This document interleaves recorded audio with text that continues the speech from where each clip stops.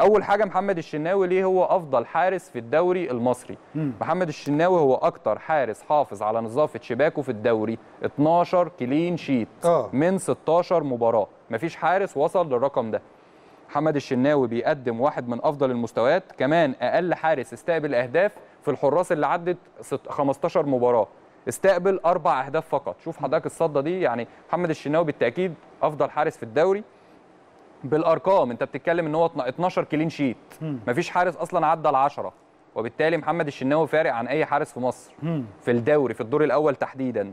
شوف حضرتك الإنقاذات دي ودور الليبرو ودور مدرب الحراس معاه في اللي إحنا كنا بنتكلم عليه على طول أثناء الدور الأول. الليبرو سرعه رد الفعل. بص الإنقاذ ده الإنقاذ ده من أحسن الإنقاذات برضو كان من أحسن سرعة رد أيوة. الفعل بالإيد العكسية قدام النادي الإسماعيلي. والإنقاذ اللي قبل كده كان قدام الإنتاج الحربي.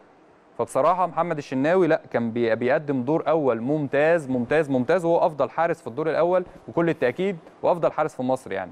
تمام. كمان لو شفنا الأرقام بقى اللي بتقول محمد الشناوي ليه أفضل حارس هنستعرض أرقام الشناوي. الشناوي لعب 16 مشاركة. حافظ على نظافة شباكه كام؟ 12 من 16 استقبلت شباكه أهداف أربعة بس. عنده كام إنقاذ؟ 26 إنقاذ في الدوري. خروج صحيح من المرمى. 28 مرة خروج خاطئ من المرمى لإبعاد هجمة أربعة. ما خرجش ولا مرة على كرة عرضية بشكل خاطئ.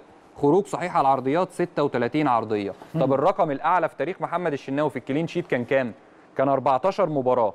كان مع النادي الأهلي موسم 2017 2018 ومع بتروجيت 2015 2016 يعني محمد الشناوي لسه له ثلاث مباريات clean sheet ويكسر أرقامه القياسية في المواسم اللي قبل كده كلها أيوه وبالتالي هو يستحق أن يكون الأفضل في حراسة المرمى طبعا. في مصر خلال الدور الأول. الأول في الدوري العام المصري يعني. طبعا محمد نعم. الشناوي بالأرقام هو بالأرقام. أفضل أفضل حارس طيب